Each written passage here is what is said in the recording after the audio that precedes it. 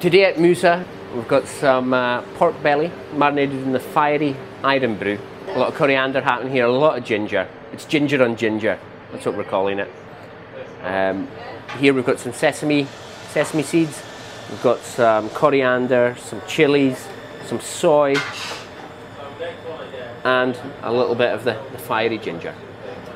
Going to be serving it with some sticky rice, some pak choi ginger and tofu, with a nice little plum sauce. Right, here we've got some of our famous fiery Irn-Bru marinated pork belly. A little bit of seasoning, some paprika, some chili flakes, some seasoning. Got a nice hot pan here. Let's see how we get on.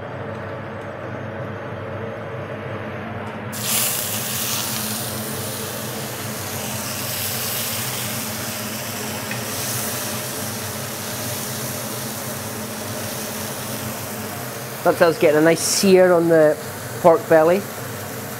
Toast it on each side into the oven. A few minutes. Beautiful. Nice bit of caramelization in that dish.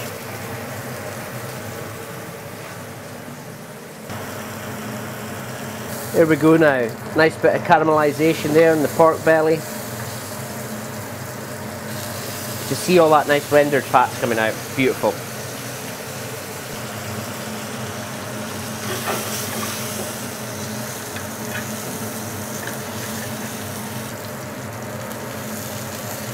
24 hour marinating Irn-Bru, I think that's enough.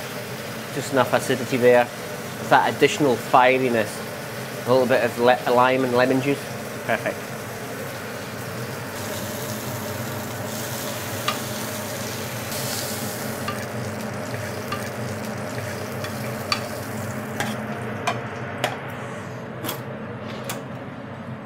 In we go.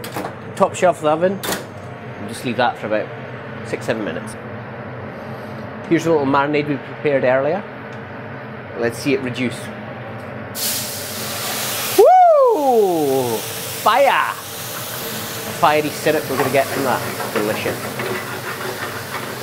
Now let's blanch some of our pan-fried tofu.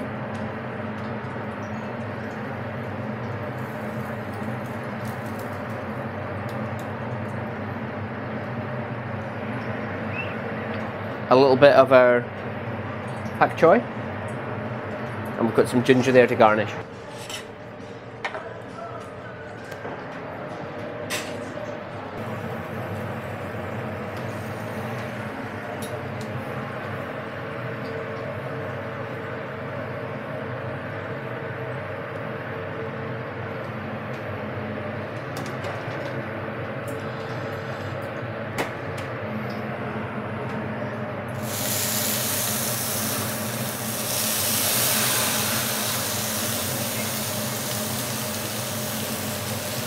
There we go with a little bit of our pak choi and our tofu.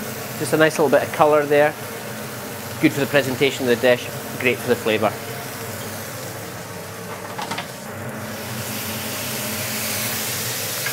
A little bit more of the fiery brew. I'll just help the flavours. Let's see how the pork's getting on.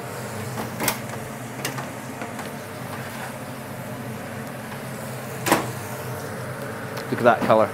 Beautiful. Let's see how it looks. So let's put this dish together now. Got some of those delicious Asian greens.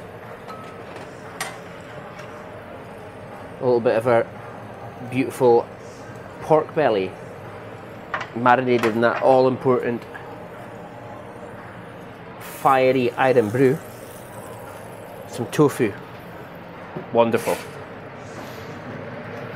And a little bit of our famous Irn-Bru reduction. We've added a little bit of plum there.